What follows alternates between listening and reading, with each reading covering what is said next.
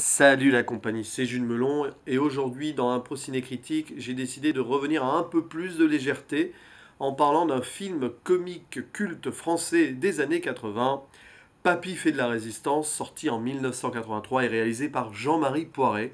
Un film culte donc, peut-être moins apprécié que Le Père Noël est une ordure et Les Visiteurs du même réalisateur, mais qui a quand même marqué toute une génération et euh, beaucoup de spectateurs, même si certaines critiques ont été un peu négatives à ce sujet, on y reviendra peut-être. Euh, Papy fait de la résistance, moi je l'ai vu, euh, je devais avoir, je sais pas moi, 12-13 ans à la télé en étant ado, et il a vite fait partie de mes, de mes grands films du genre, quoi. donc c'est marrant, là en le revoyant, ça faisait un petit moment que je l'avais pas revu, là, 2-3 ans, ce qui est beaucoup pour moi, on va dire 3 ans je pense même. Euh, en le revoyant là, euh, je me suis étonné, enfin je m'étonne à chaque fois, mais en fait, euh, quand j'y réfléchis, c'est pas étonnant. Je me suis étonné d'anticiper chaque réplique, quoi, chaque situation. Ça prouve que ça, c'est vraiment dans mes gènes, c'est vraiment dans mon ADN maintenant, ce genre de film-là. Et c'est toujours cool de revoir ça parce que, avec le recul, on découvre même toujours des petits détails, des petits trucs amusants. Donc, même pas que amusants, il y a des petites références historiques aussi qui traînent. Et en ça, ce film est super intéressant parce que certes, une comédie euh, très loufoque avec ses anachronismes, ses situations improbables, ses gags, euh, bref, et ses personnages très hauts en couleur.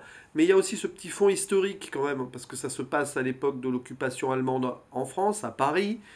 Et donc il y a une petite, euh, on va dire, tension par moment à cause de ce contexte-là, une sorte de gravité, on va dire ça, ou la gravitude, comme dirait Ségolène Royal à l'époque. Rappelez-vous. Bref, je sais pas pourquoi je parle de ça, je suis complètement hors propos, mais bon, peu importe. Oui, voilà, ça se passe euh, à un moment difficile de l'histoire française. D'ailleurs, ce film a été un peu critiqué pour ça. Certaines personnes ont un peu euh, dénigré ce papy fait de la résistance en disant qu'ils ont que Jean-Marie Poiret a manqué de respect un peu à, cette époque, aux, résistants et tout. Je pense pas du tout que c'était volontaire. Je pense même que c'est un hommage aiguisé sous le coup de l'humour, donc euh, c'est d'autant plus pour moi intéressant. Voilà, il y a quand même quelques scènes où ils sont euh, sur le point d'être fusillés, des scènes de, violence quand même, euh, avec des armes à feu et tout. Il y a voilà, des références au nazisme, à la Gestapo.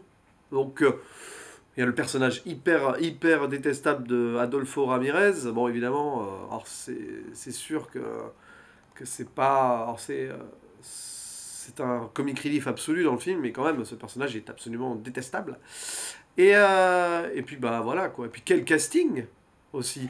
Ce film a voulu être fait euh, ainsi, avec un casting très riche, un film choral où ils ont vraiment insisté pour avoir des, des acteurs très reconnus, un petit peu de, de, partout d'ailleurs. Bon, il y a la troupe du Splendide hein, avec Clavier, euh, euh, enfin surtout Clavier, Junio, euh, c'est vrai que Dominique Lavanant aussi. Il y, a, il y a Thierry Lhermitte qui est un petit peu plus en retrait. Il y, a, Michel Blanc très très en retrait aussi. Voilà, il y a quelques acteurs qu'on voit peu. Il y a une actrice du Splendide qu'on ne voit pas, c'est Marianne Chazelle, puisqu'elle était enceinte à l'époque. Et puis vous avez, au-delà des acteurs du Splendide, des d'autres acteurs assez inattendu dans ce genre de film. Alors Galabru, moins, parce qu'il sortait des gendarmes, donc euh, quand même, Michel Galabru, voilà. Jacques Villeray aussi, mais euh, c'est marrant de le voir quand même en, rôle, dans le rôle du beau-frère d'Hitler. Et il y a aussi, surtout, ça c'est plus inattendu, Jacqueline Maillan. Voilà, la grande Jacqueline Maillan qui, qui joue ici le rôle de la, de la, de la Bourdelle, une cantatrice, la, la mère de famille, euh, de cette famille de Parisiens résistant, oui et non, sans trop l'être, enfin, on y reviendra, euh, qui se fait, euh, bah, en fait, c'est ça le pitch, hein, qui se fait un petit peu investir sa maison par un, général allemand, le général Sputz, joué par un excellent euh, Claude Giraud. Qui, me fait. Roland Giraud, pardon. Claude Giraud, c'est celui qui fait des doublages, celui qui joue dans Rabbi Jacob, à pas confondre. Bref, donc le pitch du film, il est là. Une famille française parisienne qui se fait pendant l'occupation, envahir sa, grande maison par un général allemand. Ils sont obligés d'aller à la cave, plus ou moins.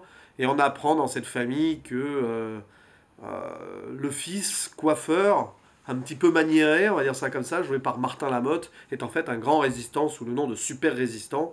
Et euh, son grand-père, le papy, joué par Galabru, est aussi un de ses bras droits involontaires.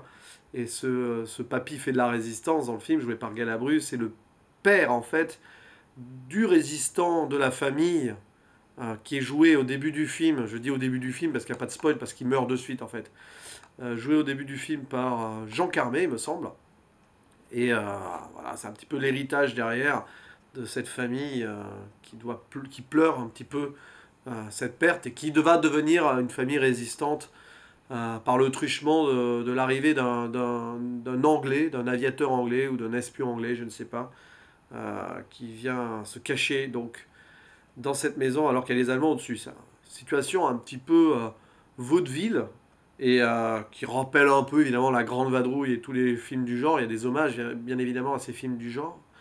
Mais euh, ça met une situation comique hyper intéressante et tendue et très drôle à la fois. Moi je trouve ce film assez intelligent à ce niveau-là. Alors, alors les personnages tous hauts en couleur. Hein. Voilà, j'ai parlé de Spons joué par Roland Giraud. Jacques Villeray qui joue le Ludwig von Apfelstrudel. Les noms sont improbables. Tarte aux pommes, hein, si vous voulez. Apfelstrudel, qui est le demi-frère d'Hitler. Ça, c'est vers la fin du film. Petite anecdote à ce sujet. Ce rôle était en fait prévu pour euh, Louis de Funès. Voilà. Louis de Funès était prévu dans ce film. C'est lui d'ailleurs qui a qui a poussé à la création de ce film indirectement, parce qu'il avait dit oui pour sa présence, et ce film s'est lancé pour ça, parce que Jean-Marie Poiré et les producteurs voulaient Louis Funès. Malheureusement, Louis Funès mourra peu avant le tournage. Il était malade, enfin, il avait des problèmes cardiaques. Il aura eu sa dernière crise cardiaque fatale peu après le tournage des gendarmes et les gendarmettes. Et donc n'a pas pu participer à ce film. Ce film lui est dédié et c'est euh, Jacques Villeray qui reprend le rôle du demi-frère d'Hitler. Voilà. Donc, autre personnage, je sais pas moi, bah, le personnage de Clavier qui est drôle, un, gars un peu naïf qui veut à tout prix être résistant mais qui s'est rejeté à droite à gauche. il fait un peu pitié, hein, Michel Topin, hein, c'est le rôle euh, joué par ce personnage-là qui est un petit peu. il, est, il est dans la famille, il est dans, la famille des Bourdelles parce qu'il est euh, promis à la fille des Bourdelles, jouée par Dominique Lavanant, mais en fait elle s'en fiche complètement de lui, elle le rabaisse et tout.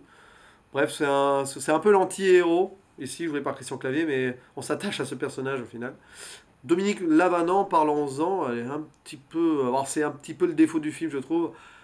Euh, elle, casse un peu les pieds euh, dans son rôle-là. Euh, mais bon, pourquoi pas, c'est, ce rôle a été écrit ainsi pour elle, hein, de toute façon. Voilà, et puis bon, bah, Jacqueline Maillan dans le rôle de la cantatrice. que dire d'autre? Puis les seconds rôles des résistants, notamment Jacques François, l'éternel second rôle du cinéma comique français qui joue Félix, euh, chef d'un réseau de résistance. Franchement, puis il y a Thierry Lhermitte aussi qui joue plus qu'un général allemand, un, surgénéral allemand, mais qu'on voit très peu dans le film. Voilà, bon, bref, on va de situation rocambolesque en situation rocambolesque, avec le super résistant, avec euh, les Allemands qui sont euh, tournés en dérision par celui-ci. que dire? Ce film fait mouche, tout simplement. Alors je lui mettrais un 8 sur 10 seulement, entre guillemets, parce qu'il y a des moments too much. Il y a des moments aussi euh, qu'on peut regretter. La longueur du film, parfois, est... Enfin, vers la fin, c'est presque too much. Il y a le, à la toute fin, il y a un débat, parce qu'en fait, ce film, c'est euh, mise en abîme, c'est un film méta d'un documentaire projeté dans les années 80, avec les protagonistes vieillis à la fin du film. Voilà, c'était ce documentaire. Est-ce que vous avez aimé euh, euh, ce qu'on en a fait, machin, et à la fin, il y a un débat improbable avec le vieux Michel Topin, un vieux Christian Clavier, les, vieux Roland Giraud et euh, Dominique Lavanant vieilli, et euh, le descendant d'Adolfo Ramirez. Alors, c'est complètement n'importe quoi cette fin. C'est drôle, mais avec le recul, c'est totalement dispensable quand même.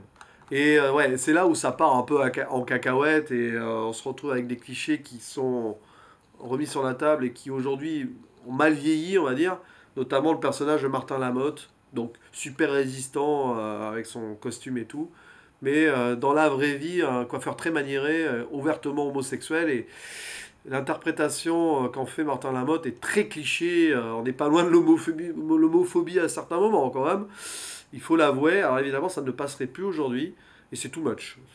Avec le recul, voilà, en le revoyant là, je me dis, mais bon, quand même, franchement. C'était pas obligé de faire ça. Voilà, surtout à la fin, là, ça part, ça part clairement en cacahuète avec des remarques un peu pseudo-racistes aussi. Euh. bon, mais bah, c'est l'humour de l'époque. En même temps, on se lâchait bien à l'époque aussi, quand même.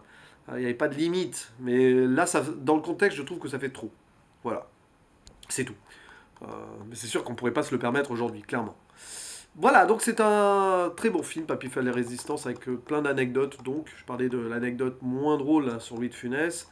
Et, et en revoyant le film, j'ai redécouvert des trucs, notamment euh, à un moment, vous avez les deux, deux gars de la résistance qui parlent en, en contrepétrie, en fait. Enfin, vous savez, ils font des codes. ils font des codes entre eux au téléphone pour, voilà, je sais pas moi, par exemple, il dit ici le cuisinier secoue les nouilles, et l'autre répond les Nippons sont cause du soulèvement de la Chine. Voilà, c'est des codes, mais si vous faites bien attention, ce sont des contrepétries. Et là, je l'ai découvert hier, en fait, en le revoyant, tout simplement.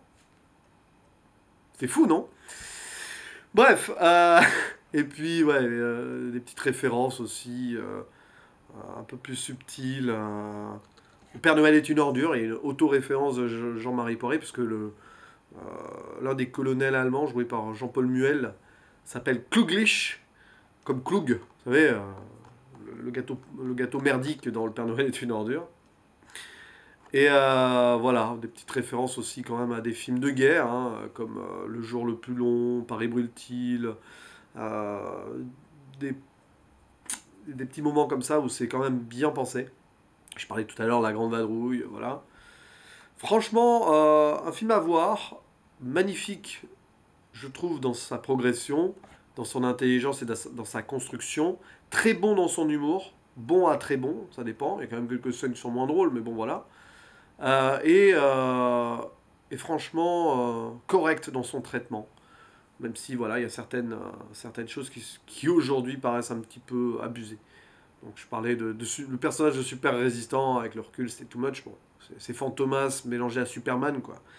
Euh, mais avec ce côté, euh, à côté un peu maniéré, bon, c'est bizarre, quoi. Voilà. Il y a quelques personnages qui servent à rien, comme la, la fille, la seconde fille des bordels, jouée par Pauline Lafont. La regrettée Pauline Lafont, qui mourra quelques années après d'un accident euh, de randonnée. le personnage de Jacqueline Maillan est sympa, mais finalement, avec le recul, dénote un peu trop du reste, je trouve. Même si elle a ce côté classe intéressant. Bon, voilà, il y, a des scènes improbables comme dans, comme le, vers la fin, dans ce château avec le beau-frère d'Hitler qui chante Anachronisme improbable. Moi non plus, je n'ai pas changé de Julio Iglesias. c'est avec l'accent d'Yves Montand, ça part totalement en cacahuète. On sait pas pourquoi c'est là, mais c'est n'importe quoi, mais on prend quoi. Voilà. Ce film, c'est n'importe quoi, mais on prend. Avec des anachronismes quand même très drôles. Voilà. Bref.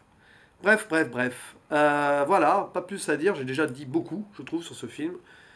Euh, que je prends toujours un plaisir, un grand plaisir à regarder. Si vous ne le connaissez pas, regardez-le. Ça fait partie quand même des moments cultes du cinéma comique français de l'époque. Un peu moins connu donc que Le Père Noël est une ordure ou Les Visiteurs, mais tout aussi bon dans un sens, même si je préfère Les Visiteurs quand même. Mais pour d'autres raisons. Voilà.